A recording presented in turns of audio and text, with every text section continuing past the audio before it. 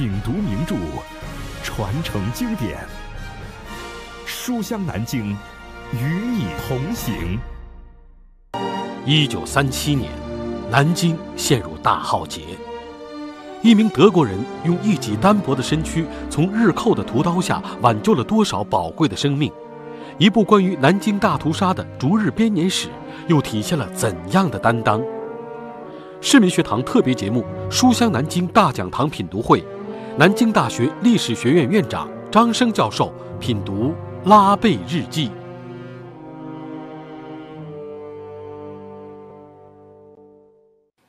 我们说。今天的主题是再读拉贝日记，为什么是再读呢？因为对一个研究南京大屠杀史的人来说，对一个想了解南京大屠杀的人来说，拉贝日记是必读书。那这是一本什么样的日记呢？我读一下拉贝日记的前言。他说：“这不是一本消遣性的读物。”虽然开头部分可能会给人以这样的印象，它是一本日记，是一个真实情况的报告。我写这本日记，并且把它整理出来，不是为了公众，这是为了我妻子和我的家人。假如有朝一日它实意出版的话，必须事先取得德国政府的同意，但今天由于不言而喻的原因，是绝对不可能的。书中所有报告和南京安全局国际委员会致日本大使馆的公函，以及美与美国当局的往来信函，都是由我从英文译成德文的。约翰·拉贝，一九四二年十月一日于柏林。这是一九四二年十月份，拉贝先生在他的日记当中写了这样一个前言。所以，也正是由于他日记当中所揭示的原因。拉贝日记在他写成以后的漫长的时间里面，都不为公众所知道，一直到上世纪九十年代才被发现。而他发现的原因，是因为南京大屠杀这段历史引起了全世界的关注。所以，今天就让我们回到拉贝日记本身来看一看。拉贝给我们记述了一段什么样的历史？我想说，在担任南京安全局国际委员会主席之前，拉贝这是一个平淡无奇的汉堡商人。他在中国生活了很多年，是来做生意的。拉宾先生是一八八二年出生在德国汉堡，汉堡这个地方是德国的。商业之都，像很多人一样，他们成年以后就到世界各地去做生意。所以，一九零八年，也就是说，在晚清，大清朝还没有结束的时候，拉贝就来到了北京。这一待就是十一年，在中国做生意，主要是把西门子公司和其他公司的军火以及其他商品。卖给中国。一九一九年，他被迫短暂的回国，为什么呢？因为他是个德国人。当时英国人给中国政府施加了压力，说这是一个德国侨民，他们战败了，所以拉贝就短暂的回国了。回国以后的遭遇很不愉快，他正好看到了德国刚刚战败以后老百姓那种民生凋敝。各行各业奄奄一息，老百姓在挣扎求生的那种状况，所以他觉得在柏林他是一天也待不下去，所以他就很快就回到了北京。从一九二零年回到北京到一九三八年春天，他回到慕尼黑，这个将近啊十几年的这个时间当中，十七八年的时间当中，他只有两次。回德国都是很短暂，呃，因为他是一个糖尿病患者，啊，他回去要看病。一九三一年，啊，由于他销售有功，所以担任了西门子公司南京办事处的经理，在南京的外国侨民当中，算是个有头有脸的人了。拉贝的日记很长，他从很年轻的时候就开始记日记，一直记到他生命几乎最后的时候。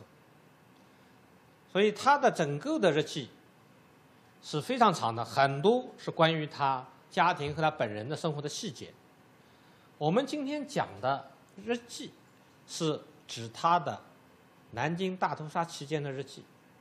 这个日记的原件原来是由他的后人保管的，去年捐赠给了呃中国国家档案馆。所以呢，今天拉贝日记已经作为国家的一级文物啊保存在中国。呃，那么我们如果回到这个日记的话，首先是第一个问题，在南京遭到轰炸以后。拉贝为什么要回来？他本来作为西门子公司的一个经理，他到北戴河到中国的北部去度夏，就南京的夏天很热，啊，那卢沟桥本来是一个很小的事件，啊，他们刚刚听到这个事情的时候，也觉得这个事情可能跟往常一样，通过外交努力就能解决，啊，但是没想到这件事情越闹越大，所以很多外国侨民，北方的。外国侨民就在考虑，他们是回国呢，还是到中国南方去呢？那应该说是很多人都回国了。拉贝决定回来，为什么回来呢？他觉得说西门子公司在南京有那么多的员工，有他那么多的生意上的伙伴，还有他很熟悉的南京的市民，所以他决定回到南京。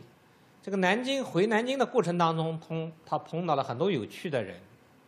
为什么他说他这本书刚开始会给人一个错觉，说是一本消遣性的读物呢？就是这本日记刚开始的时候，讲的都是他在路上碰到什么样有趣的人，有人唱歌，有人给他讲故事，等等等等。回到南京以后，他就发现这个南京已经处于战时状态啊。当时这个日本的海军航空兵和陆军航空兵已经。从八月十五号开始就对南京进行轰炸，所以他的日记的早期你会发现大量的记载了南京遭到轰炸的情况。但是就在这样的情况下，他还要做生意。他发现他的生意比以前还好做了，为什么呢？中国政府有大量的订货，军火啊、电机啊，甚至像下关发电厂，因为屡屡遭到日军的轰炸。需要比较多的配件啊，所以他一边记录屠杀，一边在做他的生意。到此为止，他仍然是一个普通的生意人。那因为他比较有钱，他在这个小粉桥一号的院子里面，大家如果参加过这个行走活动的话，你知道那个院子也不是很大，所以在这个院子里面，他就挖了一个防空洞。这个防空洞呢建的比较结实，所以周围的邻居。就经常有人不请自到到他们家来躲轰炸，其中有一个皮鞋匠，他就很讨厌。这个人自己来了不说，还把他的三大姑六大姨的都喊过来，而且每次来呢也不帮什么忙，所以拉贝对这个皮匠啊不太舒服。到了十一月十九号，拉贝被喊去开了一个会。怎么会呢？一群在南京的美国人决定仿效法国神父饶家驹在上海的举措。上海打仗的时候，饶神父曾经在上海组织一个难民区，作为中日双方都不进攻的地地域，庇护了很多中国老百姓。所以这些美国人、英国人等等。他们就决定成立一个安全区，就像上海的南市南明区一样。那大家知道这件事情主要是美国人弄起来的，为什么要喊拉贝区呢？他们有个考虑，美国人、日本人比较讨厌，考虑到这个工作可能衔接上不那么顺畅，所以他们决定找一个日本的盟国的商人。啊，当时德国是。日本的盟国，他们觉得找这么一个人，可能比较好跟日本人打交道，所以安全区委员会的筹备，在十一月十九号以后就开始紧锣密鼓了。很多人回忆起这个安全区委员会的时候，会夸大自己在这个当中的功劳。比如说，有一个中国人叫杭立武，曾经做过国民政府教育部次长，啊，他就说啊，这个安全区主要是他的主意。这个其实呢，在历史当中啊，当事人夸大自己的作用是非常常见的。大家看到这样的事情的时候呢，要有一个批判力。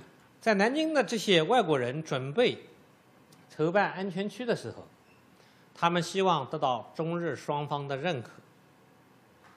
那日方是什么态度呢？日方这些南京的外国人打了电报给各自国家的外交官。外交官把他们的电报转给日本的外务省，外务省再转给军方，军方再转给松井石根，这个中中间啊，电报往来很长。到十二月二号的时候，饶申富就转来了一个电文，是日方回答美国国务院的电文的，讲什么呢？安全区我们不承认，但是呢，我们有这么一个理解，就是说。如果安全区不用来作为中国军队的这个军事设施的话，仅仅是平民的话，我们不会去进攻它。所以它是一个模模糊糊、模棱两可的一个认可。这个跟南市难民区是不太一样的。南市难民区是日军正式承认的。中方什么态度呢？中方开始认为。安全区里面是有一些地方很有军事价值的，比如说五台山，这是城里面一个比较高的地方啊。中国的高射炮部队、重炮兵部队，它需要比较高的地方来安置啊，所以迟迟不肯说我就在这个里面一点都不布置军队。所以到了十二月十三号、十二月三号，经过反复的交涉以后，南京卫戍军。才正式命令停止在安全区里面作业，但是客观的说，这种断断续续的小规模的攻势，一直修到南京被总攻之前。南京市政府对这件事情是赞成的，南京市长刘继文为此还给安全区拨了不少钱。还给了他不少粮食，啊，大致上来说有两万袋的大米，一万袋的面粉，这个都是拨给安全区，准备让安全区用来救助平民。那我们可以从当时的安全区的管理委员会的组成来看，中国人在曾经在这个当中起过一定的作用。前面说到的杭立武，杭立武在这个安全区。刚开始是担任副总干事长的，但是因为他是国民政府的教育部次长，他是高官，所以在国民政府撤退以后，他跟着撤退了。但是拉贝的管家韩湘林，还有王庭、沈玉书，都在安全区的分委员会里面，比如说这个王庭就是住住房委员会的，担任主任。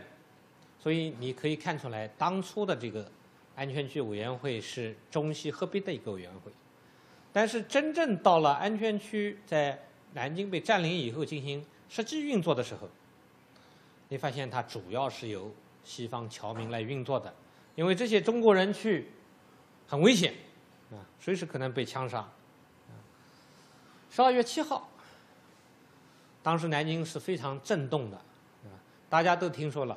说蒋委员长从南京飞走了，那这些外国人也意识到南京已经开始进入到被围城的最后的阶段。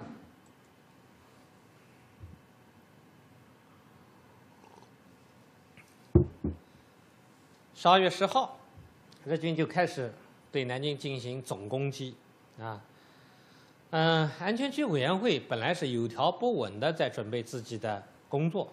但是形势发展太快，所以计划没有变化快，很多问题在安全区投入运行之前没有到位。你比如说粮食，粮食两万袋大米当中，这运进了九千多袋，差不多是一万袋一半的样子。面粉一包也没运进来。啊，你比如说住房，住房当时主要的是用的金陵大学和金陵女子文理学院，以及新住宅区，就是我们今天讲的颐和路这一带公馆区的房子。那这些房子呢，很多是外国人的产业，或者是国民政府达官贵人的房子。坦率的说，有一些有关系的人，什么叫有关系的人？比如说会讲外语的，在这些外国人公司里面当代理的，跟他们有生意上往来的，识字的，会表达的，这些人都得到相对比较好的住房条件。那一些老百姓，那就只能在大房间里面，一个房间睡几十个，啊，诸如此类的这样一个情况。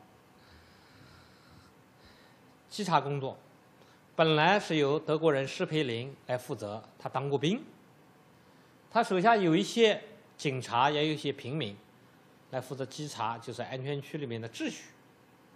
但是涌进来的人太多了，数以万计，他们发现这个里面很乱，是吧？中国人避难的时候，很多人是扛着被窝卷子来的，有的人是挑着粮食来的，有的人连柴火都准备好了，就来要烧饭啊。所以要把这些人安置好很困难，经常不断的有人说有小偷偷了他们东西，或者有人打架等等等等，啊，所以秩序是乱的。还有一个重要的因素出现了，就是国民政府的军队。他们在撤退的过程当中，有的人听到了唐生智的命令，有人没有，他们就凭经验从城墙上往后退。他们往后退都有一个规律，都是先退到鼓楼，然后沿着当年叫中山路，现在叫中山北路，往一江门下关码头来撤退。那这条路上当时挤满了人，很多人发现，与其翻过城墙，再到下关去找船，不如就把衣服脱下来，啊，找老百姓的衣服，甚至抢老百姓的衣服，穿上去以后就住到难民区去。也有人正式的向安全区提出来，说我们能不能把军装脱掉以后就住在安全区？当时这些安全区的官员认为他们放下武器了，对别人没有什么害处了，也答应了。这个后来成为日本人的一个重要的借口。嗯，在十二月十二号，也就大屠杀之前一天，安全区委员会的总稽查斯佩林，他自告奋勇，他说：“我要去到前线跟日本军官接触，看看能不能调停，就让中国军队有秩序的往后撤，日本军队有秩序的进来，这样减少平民的伤亡。”但是呢，被炮火撵回来了，所以施佩林。调停无疾而终。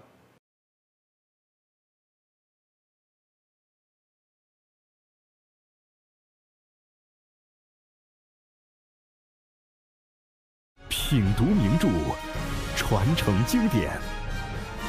书香南京，与你同行。一九三七年，南京陷入大浩劫。一名德国人用一己单薄的身躯，从日寇的屠刀下挽救了多少宝贵的生命？一部关于南京大屠杀的逐日编年史，又体现了怎样的担当？市民学堂特别节目《书香南京大讲堂品读会》，南京大学历史学院院长张生教授品读《拉贝日记》。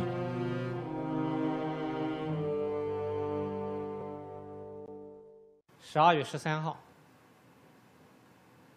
南京被日军占领。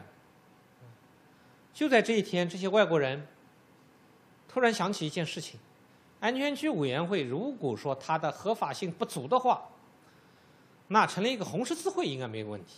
因为红十字会是当时大家全世界都明白的一个地方、一个组织，所以他们差不多就用十分钟就成立了国际红十字会南京分会。大家注意一下，红十字会确实是一个国际组织。但是南京分会是在十分钟之内仓促建立起来的，也来不及说是给瑞士总部去报备呀。这个委员会是由美国人马吉担任主席的。那被占领的南京，大家也知道，涌进来差不多有五万多全副武装的日军。这样一个城市已经失去了政府，失去了市政机构，老百姓怎么办？现在就有二十二个外国人准备来承担南京管理的责任。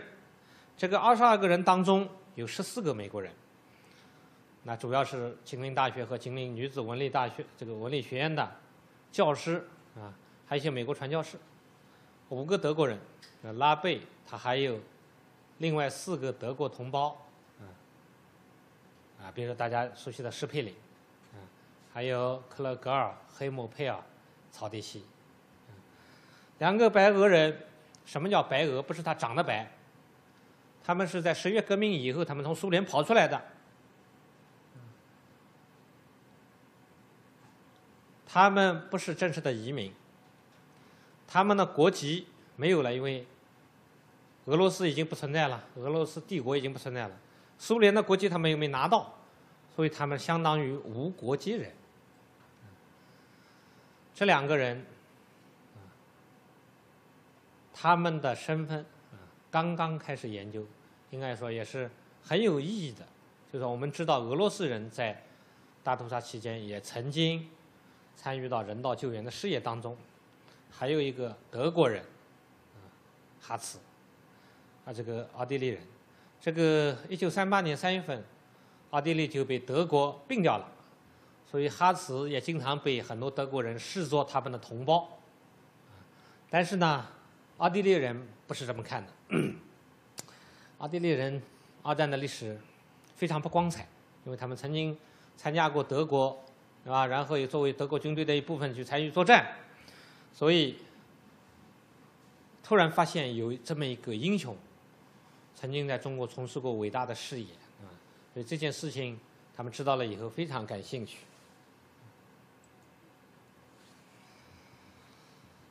十二月十三号这一天的拉贝日记，大家翻开看是平淡无奇的，没有什么了不起的事情发生，甚至我们非常熟悉的日军的暴行，也没有在日记当中多写什么。为什么呢？这些在南京的外国人。反而有了松一口气的感觉。日本人终于进来了，我们安全区也给他们准备好了，所以底下就是按部就班的把这个安全区和南京市的管理工作交给日本人就好了。啊，所以拉贝在日记当中，嗯，在这一天晚上日记当中就说：“谢天谢地，最困难的时候过去了。”实际上，大家知道，是噩梦刚刚开始。拉贝的噩梦是从他们家门口开始的。日本人把一个中国士兵绑在一张竹床上，枪杀掉，然后就丢在他们家门口，作为对他一个无声的警告。所以，在此后的长达三个月的时间里面，这具尸体就时刻提醒拉贝，你处在一个什么样的环境里。拉贝作为安全区委员会的主席。他首先看到的南京大屠杀是以搜查残败兵为名的屠杀，是什么呢？一些中国的这些放下武器的军人，他们来到安全区里面，日军想当然认为有很多很多这样的所谓残败兵藏在老百姓中间，所以他们要到安全区里面来搜查。当时说的很好，说你们承认。自己是当过兵的，然后我们按照俘虏的待遇给你们，给你们做工，还有工钱，所以有一些当兵的就自己走出来了，走出来的人当然很快就被枪杀了，强奸开始普遍了，在安全区委员会的档案里面，你可以看到。第一批九十六个案例里面，绝大多数都是强奸的案例，很多妇女被当着丈夫的面拖走了，所以这些男人就在后面追。那凡是有人追的，当然是被枪杀，所以 这些追赶自己的女人的男人，也成为第一批的受害者。然后，拉贝在他的日记里面注意到了，日军把他们的部队组成十到二十人的小分队，开始对这个城市进行洗劫，不管是公家的，还是私人的。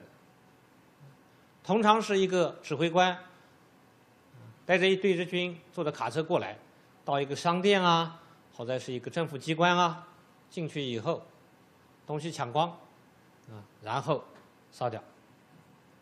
所以，十到二十个人组成这种小分队的有组织的行为，说明这种抢劫绝非个别人的偶然行为。拉贝在干什么呢？别人看到他了，其中当时在南京有五个外国记者，他们是十五号、十六号离开南京的。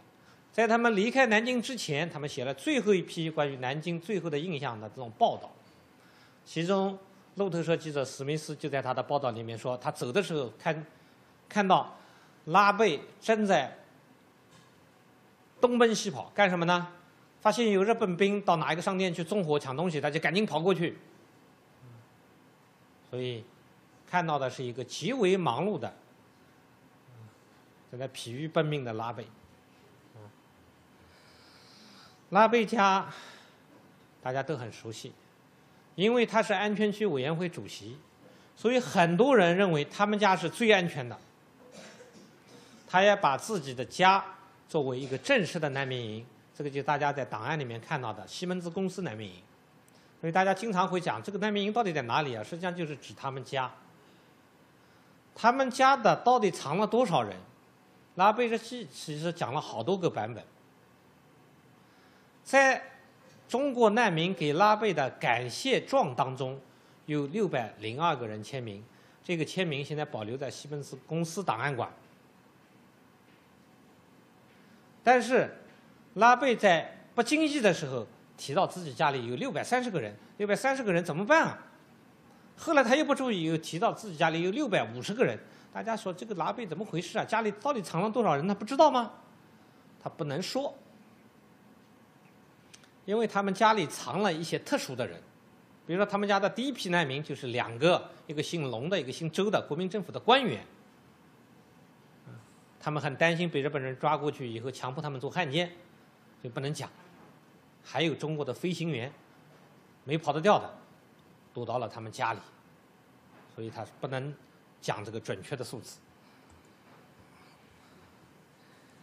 大家知道，从一九三七年十二月十三号。到差不多二十几号是南京大屠杀的高潮，但是很奇怪的是，这段时间恰恰是日军的最高指挥官华中方面军司令官松井石根来南京的时候。松井石根是一九三七年十二月十七号来到南京的，在他决定来南京之前，上海派遣军就负责占领南京的这支日军部队。他们是有不同意见，他们认为人还没杀完，特别是那些所谓残败兵还没杀完，街上到处都是尸体，是吧？安全得不到保证，所以他们想叫松井石根不要来。结果松井石根认为一定要来，为什么要来啊？他作为占领中国当时首都南京的最高指挥官。他觉得自己的荣誉太大了，这是日军建军史以来最大的荣誉，怎么可以自己置身事外呢？所以，所以上海派遣军就急急忙忙的给他把主要的街道扫了一下，这个主要的街道就是我们今天大家熟悉的中山东路。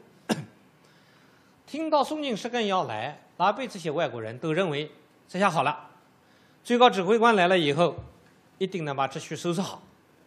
但是在十二月十八号的拉贝日记当中，你就可以看到，他说发现情况更糟糕了。所以在安全区的案例当中，你可以发现九十六号案例之后，成百成百的增加了。到了十二月二十一号，这些在南京的外国人忍无可忍，凡是能动的人，他们都集合起来，在鼓楼这个地方集合干什么呢？到日本大使馆去抗议。所以这些人组成了一个小队伍，就从鼓楼医院这个地方走到日本大使馆，日本大使馆就在消防队这个地方，其实很近。啊，走过去以后，向日本领事提交了抗议信。在这个抗议信里面，他提出三个要求，就是恢复秩序、不要抢劫、解决粮食等等。这一天他们去的时候巧了。松井石根还没走，所以松井石根还给他们握手致意。这封信是非常重要的，为什么呢？松井石根后来在东京审判的时候，说自己对南京大屠杀毫不知情，他也是战后才知道的。但是有人说，国际安全区当时给了一个抗议信，说你在场。你怎么会不知道呢？你还给他们握手致意呢？啊，他们抗议的就是大屠杀的事情嘛。抗议无效，大屠杀继续进行。啊，二十二号，松井石根就离开了。离开了以后，日军更加肆无忌惮。这个时候，从南京郊外来了一个丹麦的年轻人，大家很熟悉的辛德贝格。辛德贝格有个车，啊，他开着车。从栖霞山来到了南京城里面，这一路上都看到的是大屠杀的场景。到了南京以后，他就更加震惊了。他来的时候带来了一封老百姓栖霞山这代老百姓写的抗议信，带给安全区委员会。但是不知道什么原因，这封抗议信的原件没有保存在拉贝日记当中，这是绝无仅有的一件事情。应该说，大屠杀期间，南京就像个地狱一般。但是地狱当中，拉贝是深受感动。什么感动呢？他曾经给一个小朋友给了几块小饼，这个小朋友没舍得吃。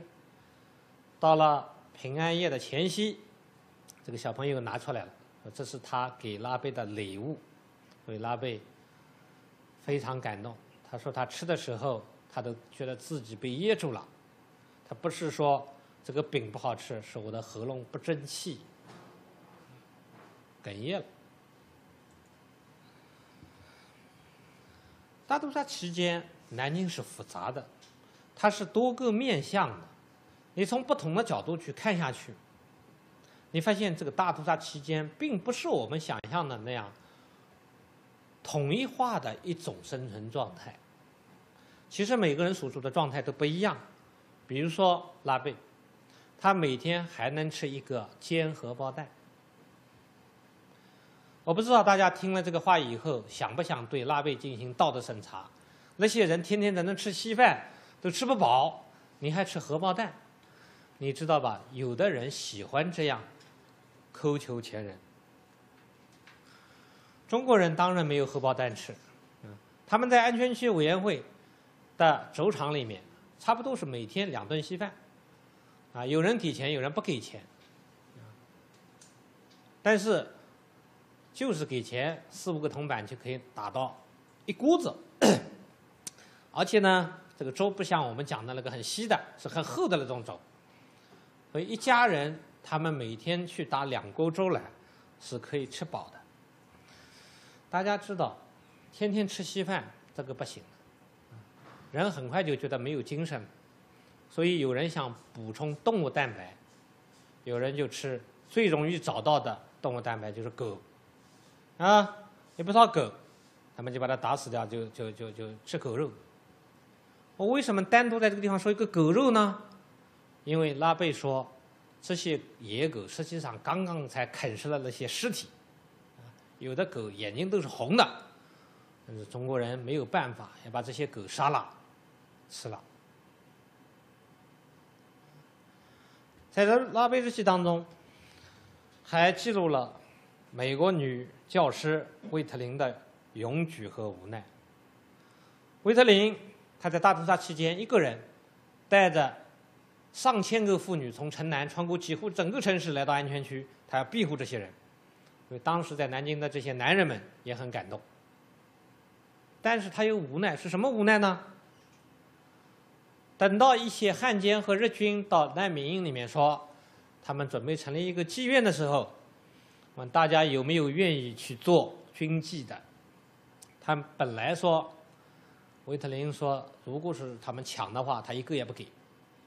但是没想到，稀稀拉拉的就有一些女性举了手。这个当中有一些是过去大家熟知的南京城很活跃的娱乐人士，但是也有一些确实是出于贫困和其他原因，要谋生的。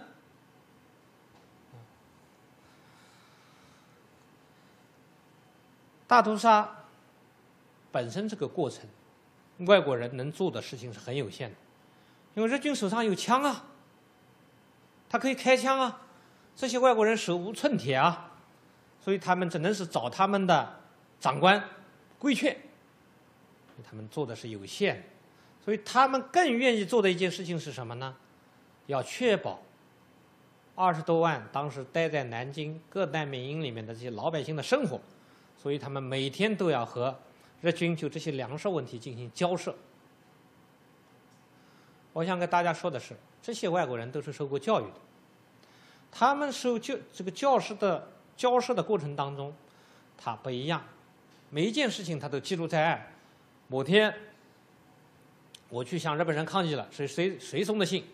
这个信编号都编好了，然后在他们的档案写上编号一的信件是什么什么什么内容的。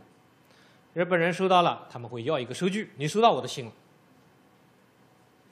而且为了防止日本人说，嗯，信在这个这个给的过程当中丢掉了，他们每天要寄两遍信，一边是由信使，由信使从安全局委员会拿过去以后送到日本大使馆，另外一个由施麦士和拉贝他们轮流每天亲自送过去。所以等到东京审判的时候，这些被告每个人都说自己对这件事情不知情的时候，这些东西就有用了。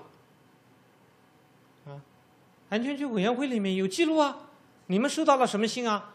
这个信的内容里面讲的很清楚啊。所以这个知识的力量啊，它确实是以不同寻常的方式展现出来的。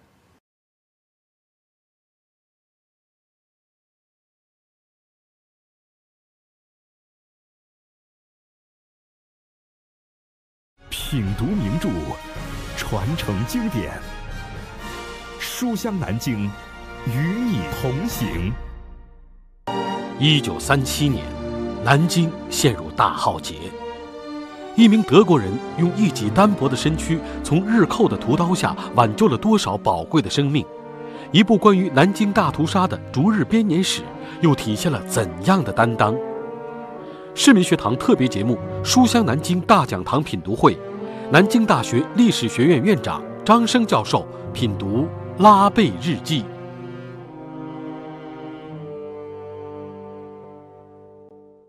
在粮食教师的问题当中，蚕豆是一个很特殊的品种。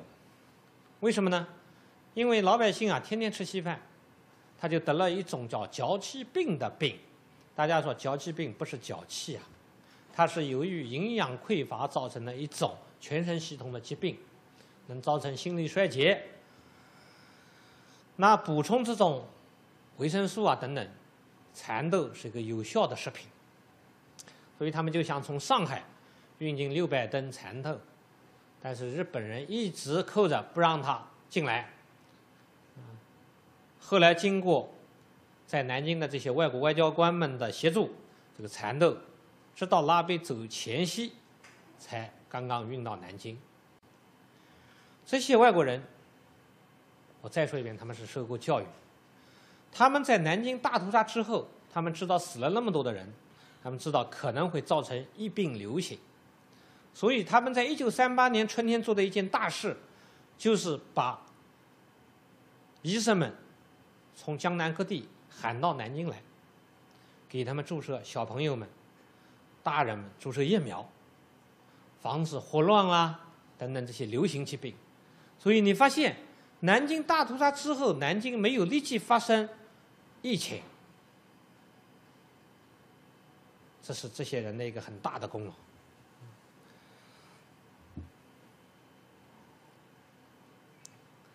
南京大屠杀期间，中国人过着安无天日的生活。每个人坐在拉贝家院子里的人，他们都呆呆的看着他们家的钟，仿佛一天有一百个小时，而不是二十四小时。为什么呢？因为每一分钟都可能发生暴行。啊，时间在那种特定的场景之下。它成为暴力的同谋，啊，时间是有意义的，啊，当然这个是比较专业一点的说法，啊，就说一个人在很难熬的时候，通俗的讲就很难熬的时候，你发现那个时间长的不得了，总也熬不过去，两个小时好像比平常要要长很多很多倍，就是这个原因，所以拉贝记录了这些潜伏在他们家的这些中国难民难民的那种困难的状况。在拉贝日记当中，我为什么说它是一个关于南京大屠杀的逐日编年史？他的日记内容非常丰富，除了他自己所感知、看到的这些事情记录在日记当中，别人的日记、别人的备忘录、安全区委员会的报行报告等等等等，他都会放在当天的日记当中。所以你看他一天的日记，可能有长达最长的。日记可能长达二三十页，就一天啊。实际上就是同一天发生的各种各样的事情。在拉贝日记当中，因为他各方面的材料他都注意收集，所以你可以看到南京大屠杀当中的很多的因素，很多的东西是跟我们在平常时期想象不一样的。比如说，日记当中写到，数万人闲在那。为买卖讨价还价，大家想这什么地方？像个菜市场的地方。当时安全区里面有一条路，就是今天大家熟悉的上海路。这条路过去没有这么宽。这个路就是安全区里面跳蚤市场最集中的地方。大量的人在这个地方买卖，大家奇怪，说一边屠杀进行，一边他们为什么要买卖啊？你要活下去，有人要去买粮食，有人在那卖粮食，有人在那边买肉，有人在那卖肉，还有人在那买古玩，有人在那卖古玩。为什么？大屠杀造成的各种各样的状况，比如说有人吸了毒，他要去偷东西来卖，卖掉以后他才能到日本人那边去买到毒品。有人。手上有点闲钱，发现这个是个东西好便宜啊。拉贝在自己的日记里面都很惭愧的说，一个明代的青花瓶就卖了一块两毛钱，所以他在这个地方就形成一个市场。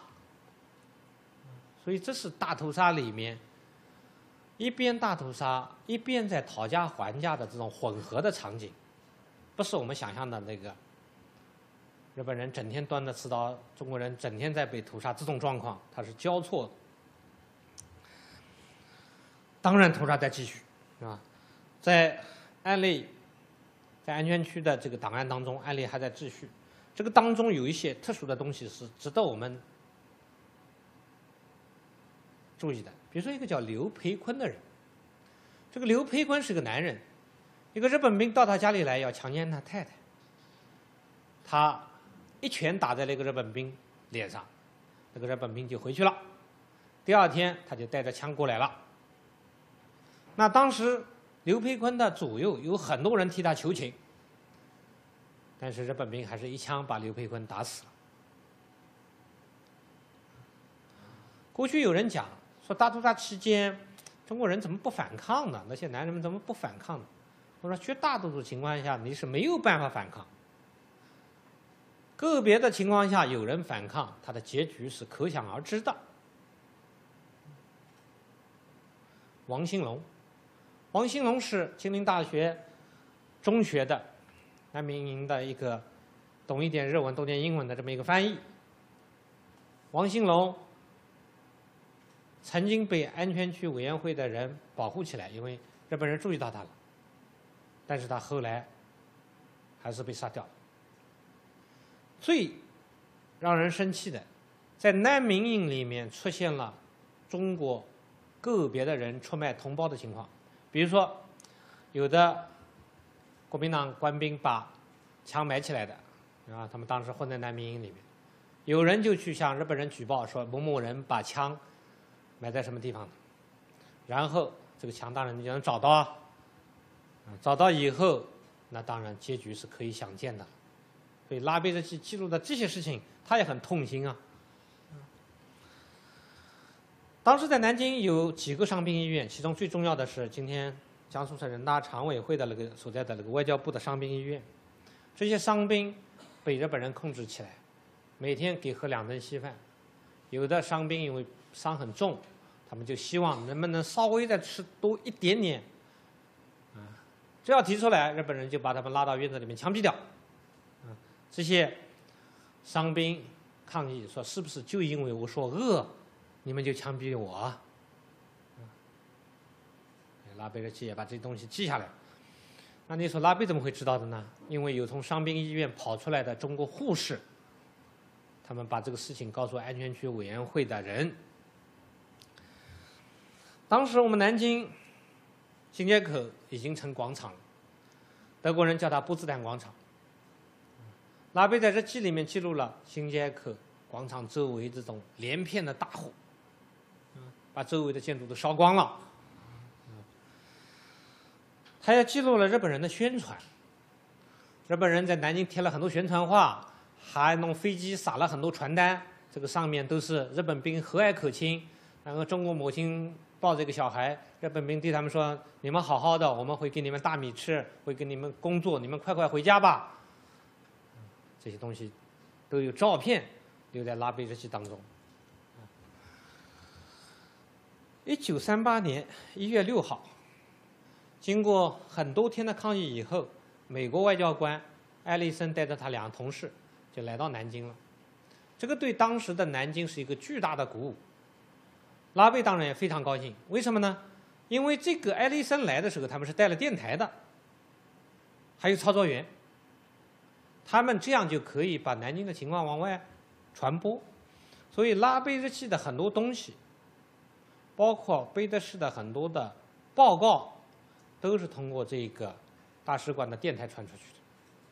三天以后，三个德国外交官、三个英国外交官也来到了南京，尤其是德国三个外交官的到来，给拉贝非常大的支持。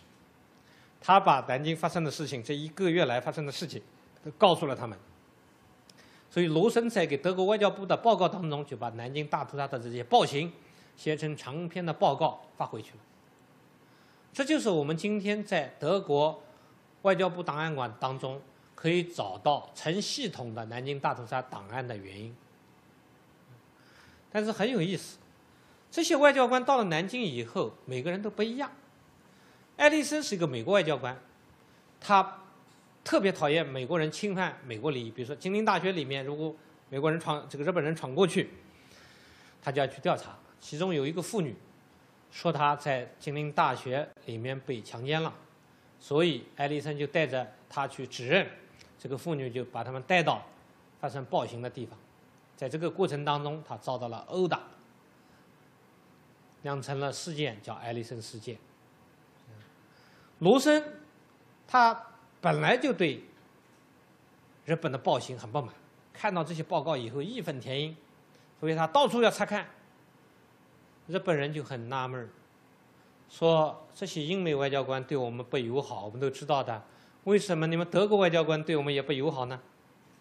所以派人跟着他，就是你到哪去，我就派个人跟着你。所以这个罗森啊，他也没有行动的自由。沙尔芬贝格是他的同事，也是个德国人。他就觉得罗森，你不要天天跟日本人过不去啊！啊，我们是来做外交官的。这个沙尔芬贝格最后是死在了南京。为什么呢？就是罗森要回国之前，日本人决定招待他们一顿宴会，上了牛排，其中一块牛排煎得很深，上面还有血丝儿。呃，罗森要不要？罗森说我不吃这些太深的牛排。正好沙芬贝格坐在他边上，拿过去了。沙芬贝格第二天就开始食物中毒，在一九三八年的六月份死掉了。英国外交官在来之前就接到外交部的指令，要求他们到南京跟日本人配合，不要敲他们蹩脚。所以你发现南京大屠杀期间，英国外交官揭露的南京大屠杀的直接揭露的暴行，只有一件，就是他们在走在路上的时候，发现日本兵把一个高尔夫球杆揣到一个中国妇女的下体，这是记录在安全区档案里面的。但是不管怎么样，这些外交官的到来，增强了这些安全区外国人的力量。所以大屠杀为什么在一九三八年一月以后渐渐平息，是跟这些外交官返回南京有关的。尽管如此，大屠杀不是说有一天就突然一下子没有了。在日本，在拉贝日记当中就记录了一个案例，说有一个妇女恍恍惚惚的在大街上走。他们家里原来有十八口人，十七个人已经被杀掉了。他就拿最后一点点的东西，说买了一口棺材，然后他就把这些亲人们收敛起来。日本人把棺材又抢去了，说中国人不需要收敛。所以拉贝日记专门记了他的悲惨的故事。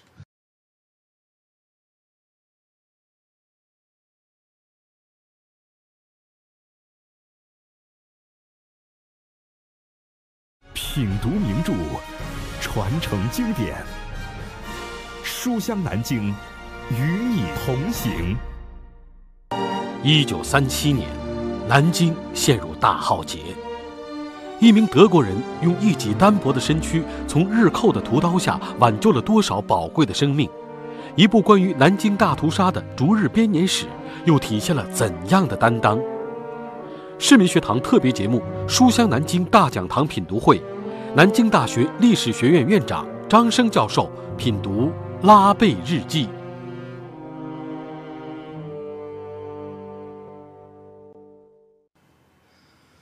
到一九三八年一月十号，这个西门子公司就打了一个电报，想叫拉贝回去，说西门子公司找他有事儿。啊，这个电报到一月十三号，拉贝才收到。大家说，拉贝这样一个人在南京担任安全区委员会主席，通过自己卓越的劳动，得到了当时全世界的高度的赞誉。为什么西门子公司要把他喊回去呢？因为德国发生了重大变化。本来德国外交部长叫牛赖特，他是一个被认为德国外交部里面的清华人士，还有原来的国防部长像布隆伯格这些人。都是因为跟当时的国民政府比较友好的，他们曾经派军事顾问团到中国来，还跟中国进行医护贸易，比如说拿中国的乌纱换德国的大炮，啊，当时是国民政府最喜欢做的一件事情。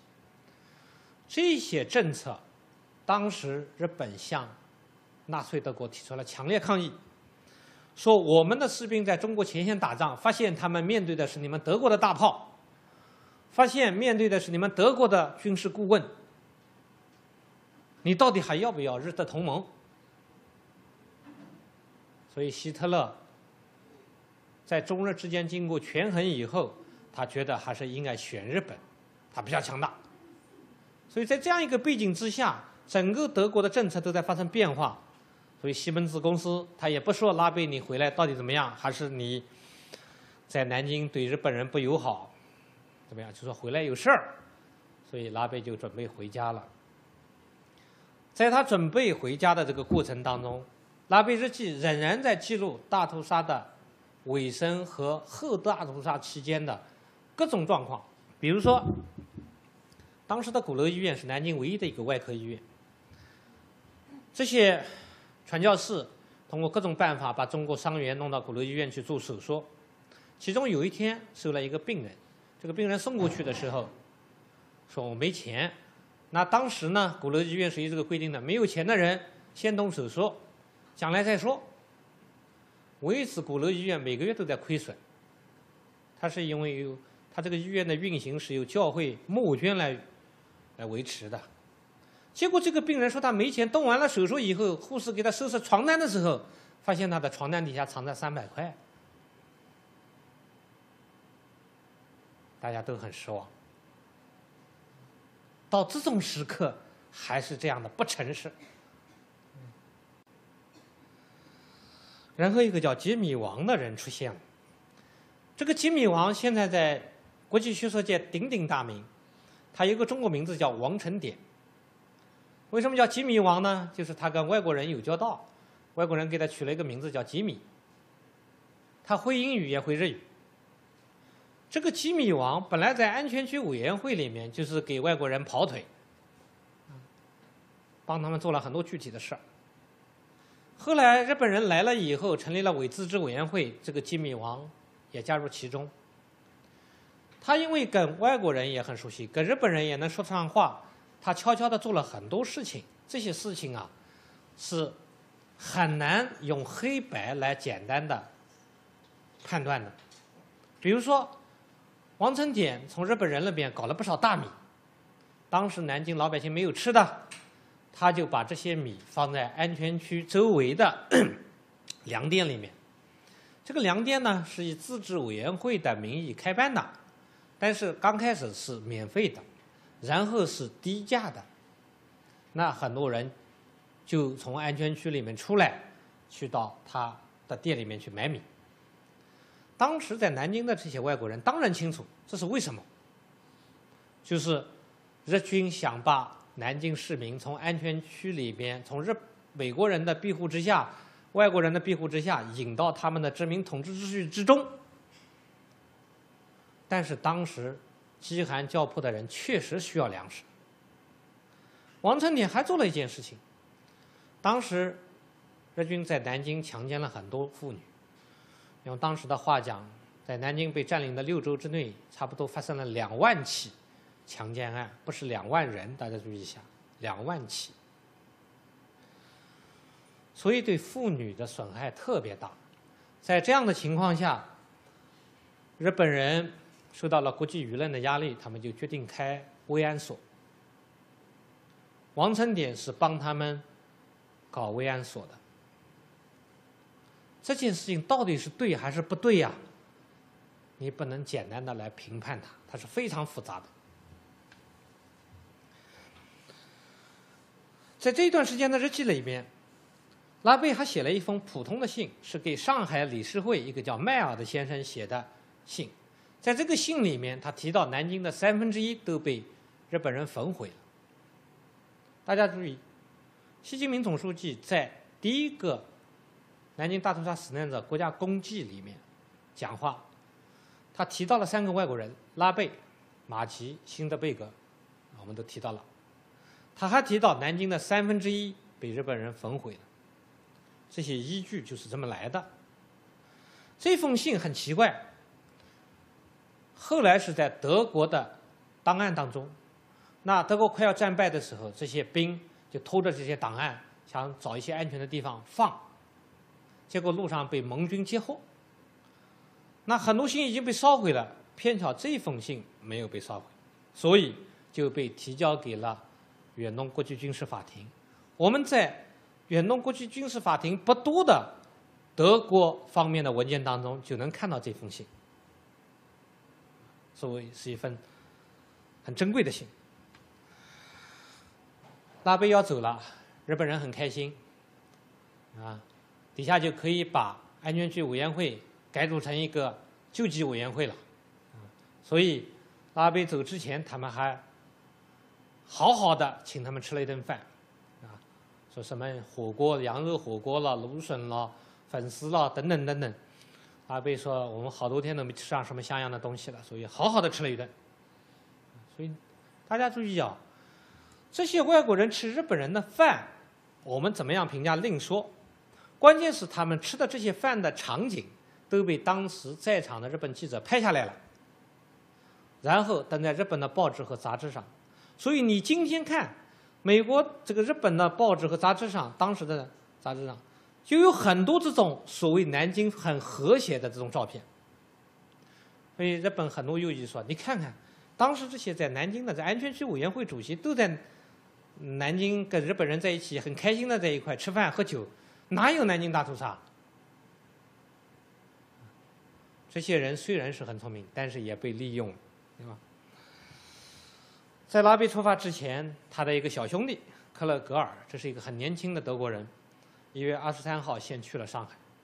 他的理由是说我新婚，当时南京被日本人团团包围，不想叫外国人出去，他们怕这些外国人到上海去讲南京大屠杀的事儿。但是克勒格尔说他是新婚，他这个理由好像很充分。就把他先放走了。临走之前还写了一个保证，保证到上海不去讲日本人的坏话。但是克勒格尔去了以后，他就没忍住，啊，他当然要说，他是一个正直的人。所以克勒格尔的在南京的日日夜夜等等，就说了这些东西，就跟当时这些英美记者的报道就混杂在一块，大家对大屠杀的这个情景就越来越熟悉了，所以日本人对他们很有意见。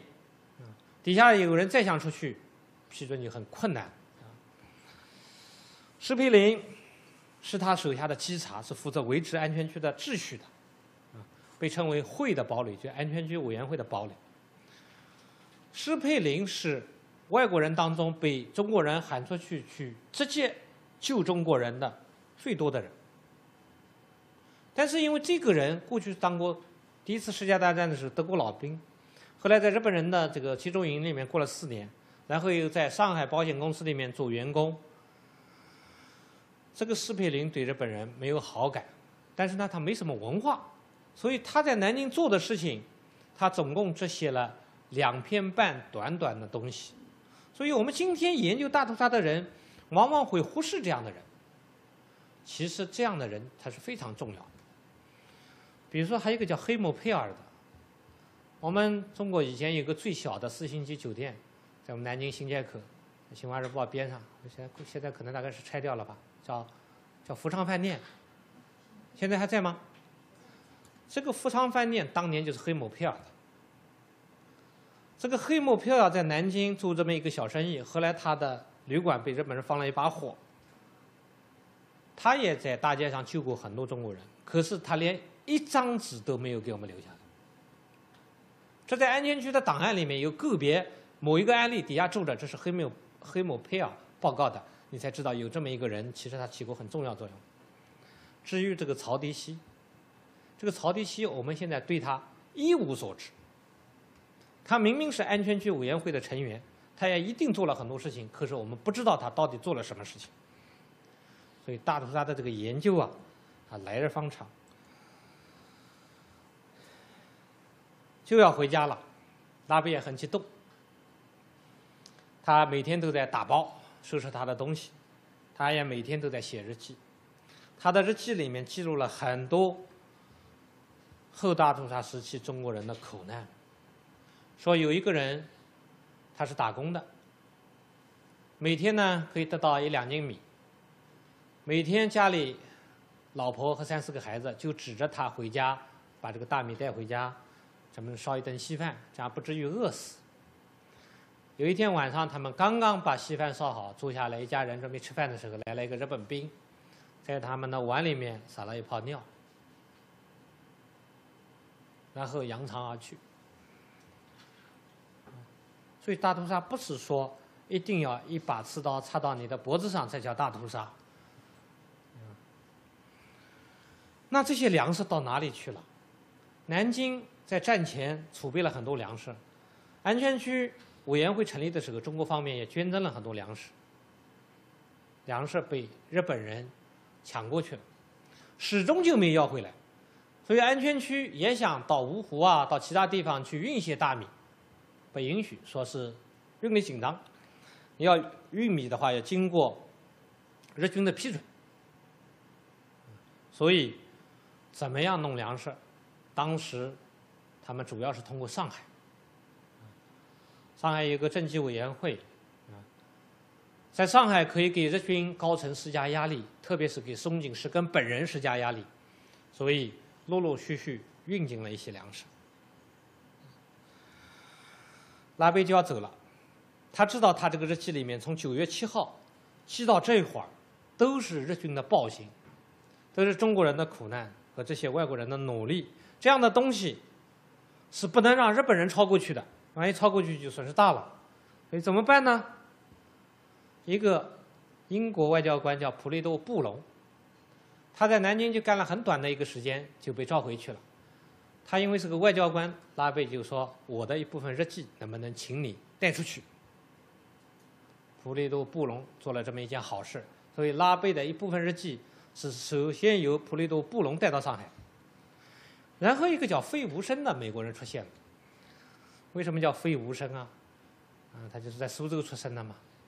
这个人是传教士世家，他是出生在中国苏州，是基督教青年会的干事。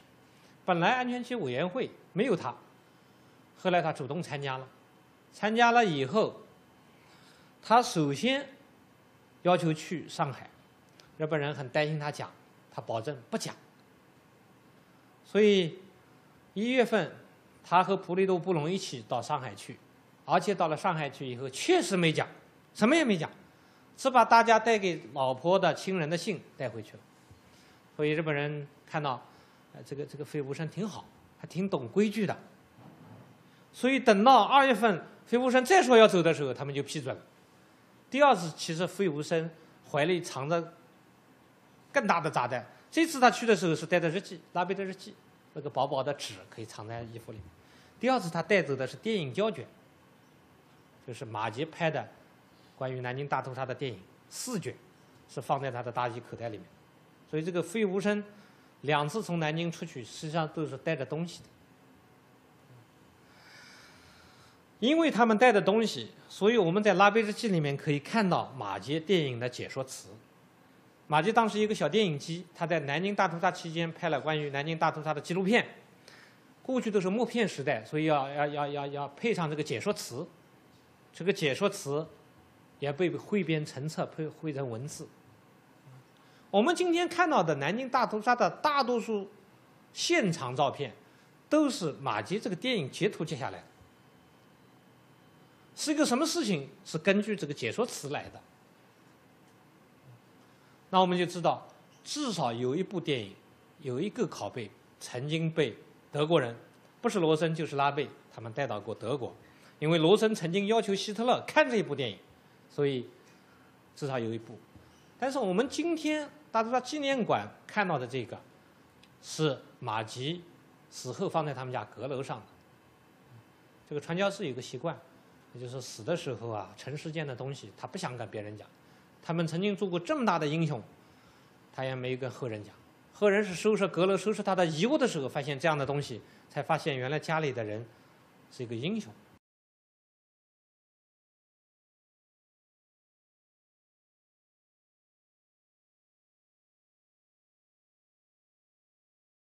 品读名著，传承经典。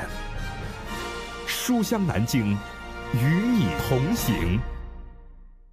一九三七年，南京陷入大浩劫。一名德国人用一己单薄的身躯，从日寇的屠刀下挽救了多少宝贵的生命？一部关于南京大屠杀的逐日编年史，又体现了怎样的担当？市民学堂特别节目《书香南京大讲堂》品读会。南京大学历史学院院长张生教授品读《拉贝日记》。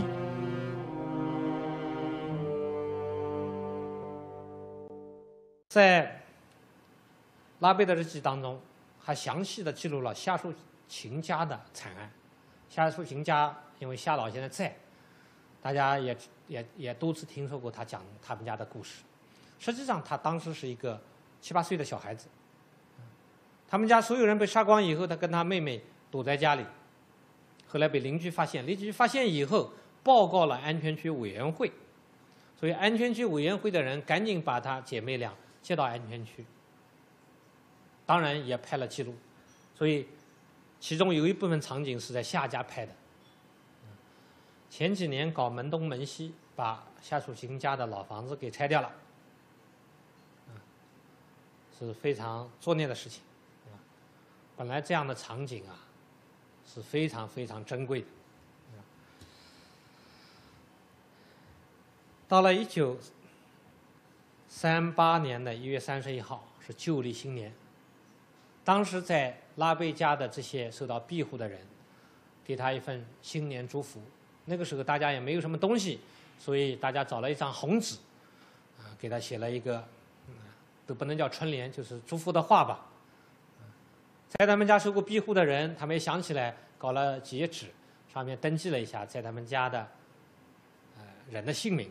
所以我们早两年还可以找到极个别的幸存者，他的名字出现在当年签字的那个行那个那个一栏里面，现在都没有了。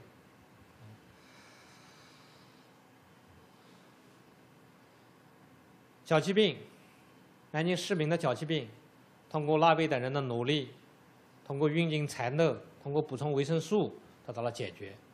在这个时候，有一个美国传教士，啊，平常很古板也很简朴的人，叫福斯特。这个人啊，在很多人的日记里面都可以看到，他是南京最穷的外国人之一。大家每次看到他，都都发现福斯特拐到一个，他也怕被别人看见。都拐到一个南京的一个角落里面的小小百货店里面买点东西，嗯，这个福斯特其实做了很多事情，他有一个照相机，他的很多的同事都不知道，所以在今天的耶鲁神学院图书馆里面，我们可以看到二十多张关于南京大屠杀的照片，就是福斯特带回去的。这个福斯特就谱写了一曲蚕豆歌，今天大家到大屠杀纪念馆是可以看到。这一首歌的曲谱的，他们当时没有什么别的来补充维生素啊，啊，只有这些蚕豆。听到拉贝快要回去了，中国人都舍不得。首先是他们家院子里的人先知道了，他们家院子里人呢知道了以后，所有的妇女都给他跪下来，希望他不要走。大家注意啊，我们在研究的过程当中。经常注意到这样一个场景，就是中国人当时在南京大屠杀期间向这些外国人求助的时候，不管是拉贝也好，还是辛德贝格也好，还是贝德士也好，还是其他美国人也好，中国人求人的典型的举动就是跪下来。这个跪呀，不单纯是一个生理上的意义，它其实是中国人这种心理呀，当时的这种情况下心理。文化、精神都处于这种低位的这种身体语言，所以那个时候的中国，说是跪着的中国，它不光是说一个象征意义的，它实际上是也是具象的。日本人是在干什么呢？在威胁他，听说他要回去了。就有人来跟他谈了，说你你到了上海去以后，你可不能说我们日本人的坏话，否则的话，否则的话是什么？你自己掂量吧。拉贝在自己日记里面也写到这样，他有个担心，就是自己到上海去讲了以后，在南京还在坚持的这些人怎么办？对他们很不利啊，啊，像贝德士这些人，他们都没走啊，米尔斯、斯麦斯啊，怎么办？所以。他到上海去以后，确实没有很多的讲日军的这个暴行。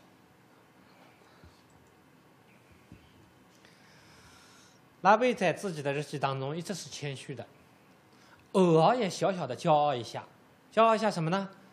因为他在担任安全区委员会的主席的时候，外国的同事们对他高度的赞扬，中国的难民们也对他非常的恭敬。所以呢，有人就喊他南京市长，就喊他市长，说这个现在南京处于无主的状态，只有你在这个地方才能管我们生死。所以听到市长以后，拉贝小得意了一下，我现在是南京的市长，而且呢，在当时德国的简报里面，有人把简报他他的亲属们把简报从德国寄过来的，那个简报上也写着德国侨民担任了南京市长，所以他是蛮骄傲的。但是呢，他也在日记里面提醒自己，说拉贝啊，你有点得意忘形了吧？啊，自己在日记里面这么写，对吧？你不是市长。但是我说这个南京市场，虽然从来没有被正式任命过，但是也确实是无从超越的一个人。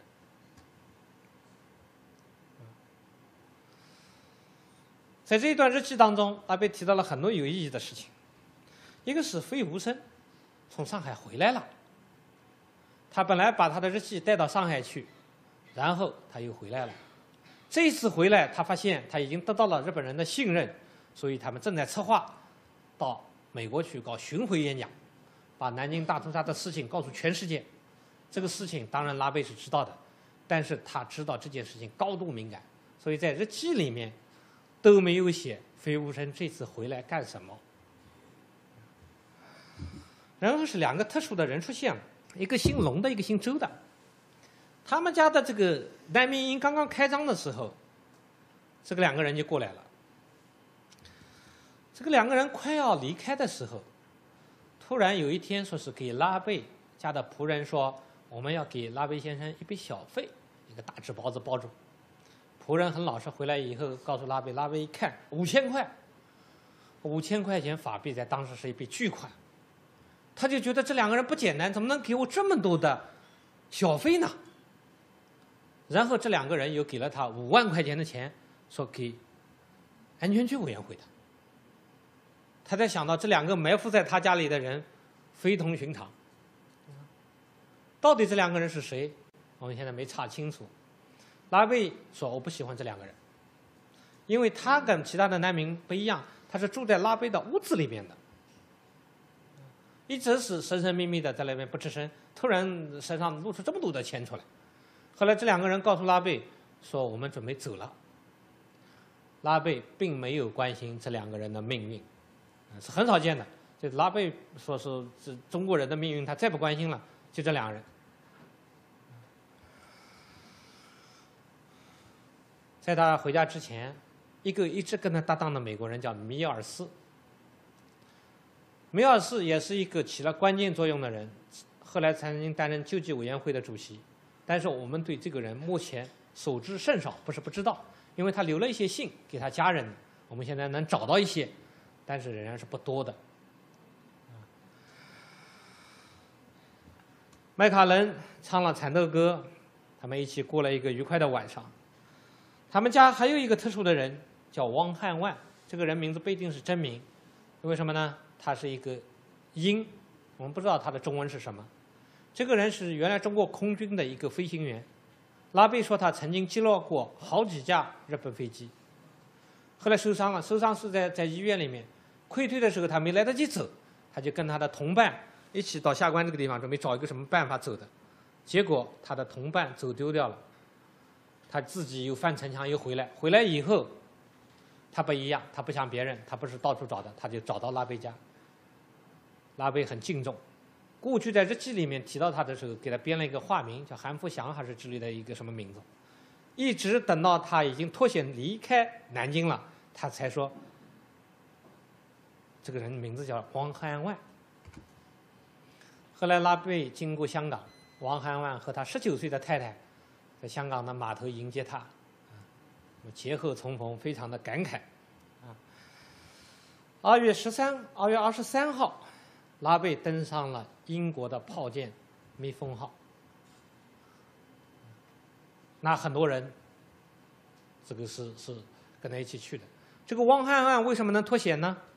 汪汉万脱险就是拉贝临走的时候知道这个人留在南京太危险，所以他就把他给打扮成自己的仆人，让他挑着行李。啊，当时呢，这些在中国的外国人走路的时候都自己不拉行李的。啊，都是要由中国苦力来帮他们挑着的，所以他就要这个人装扮成一个苦力，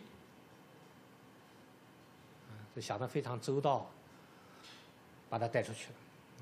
四月十三号，四月十三号，他到达了慕尼黑。到达了慕尼黑以后，他记了一件高兴的事情，说是他的孩子叫奥托的人，已经加入了占领奥地利的军事行动当中。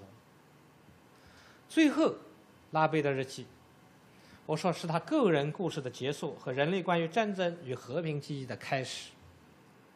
为什么呢？拉贝日记就他的文本而言，到这个地方还远远没有到结束的时候。他的日记一直写到战后，很长，很多琐碎的乱七八糟的事情他也写。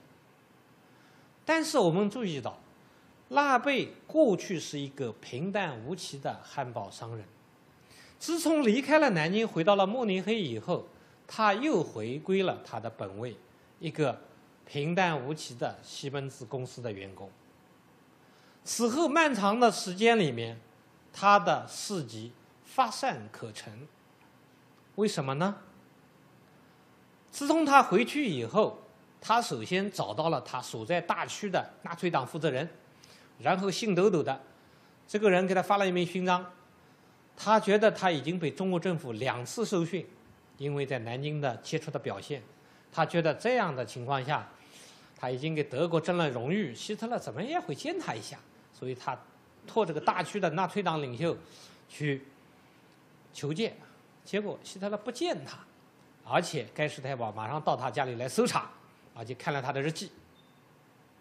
这个日记幸亏又还给他了，所以拉贝在前面才会有一个话说：这个日记现在是不能公布的，哪一天要公布，要德国政府同意。大家想想看，他回到了一个什么样的角色里面？最重要的是，他在南京的时候就加入了纳粹党，回国以后他也没有退党，而且还比较积极，参加基层组织活动。一直到盟军占领他们的家，那为什么是说人类关于战争与和平记忆的开始呢？拉贝在南京的时候，他曾经对中国人来说叫哀其不幸，怒其不争。他说，如果在南京发生的这些强奸案每一起都得到致命的报复的话，就是说中国男人如果个个都找找一个日本兵杀死的话，他说那可能很大一部分侵略军就已经被消灭了。在整个拉贝日记里面，对中国人讲话这么苛刻的只有这么一次。但是，等到他的家、他的祖国遭遇到战火的时候，他发现这个问题来了。苏军打入柏林以后，到处强奸，他的一些年轻的女性邻居也被强奸。他发现他们反抗不了，为什么？对方手上有枪啊，你怎么反抗？所以这些妇女很悲痛，有的也来找到他家来求助求援，他就想起了自己在南京被称为活菩萨的那个时代，他发现自己在那个时候还能帮助人，能救助中国很多人，有一些妇女。啊，比如说拉贝曾经碰到过一个妇女，一个妇女，这个这个，她在大街上的时候，突然有几个中国人来疯跑来找她，说什么事情？说刚才一个妇女被日本兵拉过去，拉到附近一个房子里面去了，估计很危险，所以拉贝赶紧开着车就冲过去了。冲过去以后，发现几个日本兵正在准备强奸中国妇女，他就把她给救下来了。可是这样一个活菩萨，到了他自己所在的祖国，到了他自己所在的家乡，到了他自己所在的社区里面。他已经无能为力了，所以拉贝日记的最后部分讲到的都是这些战争期间的苦难，他们家怎么样没吃的没喝的，就像当年中国难民们碰到的这种苦难一样。讲到他的邻居们是怎么被侮辱的，怎么被殴打的，怎么被屠杀的。他还讲到了他怎么被爱的。就他家当时已经吃不上饭了，是吧？南京的市民还惦记着他，南京市政府通过认定瓦办事处，